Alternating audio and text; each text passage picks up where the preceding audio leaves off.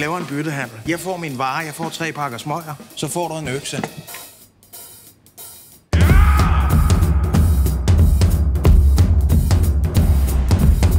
Har I fundet ham? Ikke ennå. Hei. Han skulle på noget teambuilding med sit arbejde. Hold da kæft. Martin, Mose. er det her din første store vandretur? Nå, ja.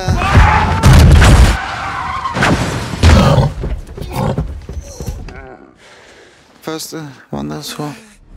Har du boet her i lang tid, eller? Jeg har boet her i... Et års tid, eller sådan noget? Nej, jeg har boet her i... I 10 dage. Nå, okay. Ja. Er han voldelig? Nej. Der er ikke noget mystisk ved Martin.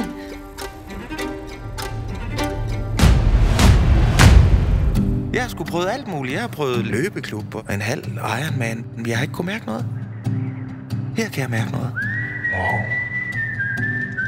Den kraften som du har i øynene dine, det er helt unikt. Hvad laver han? Slip ham! Sænk myrer! Hold kæft! Hvad er det for noget tøj, han? Enten så er han blitt sinnssyk.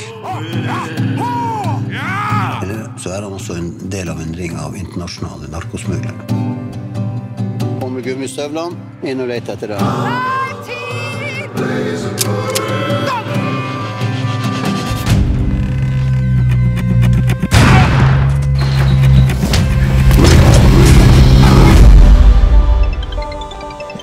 Hej, skat. Ved du, ved du jeg, jeg sidder lige i møde lige nu.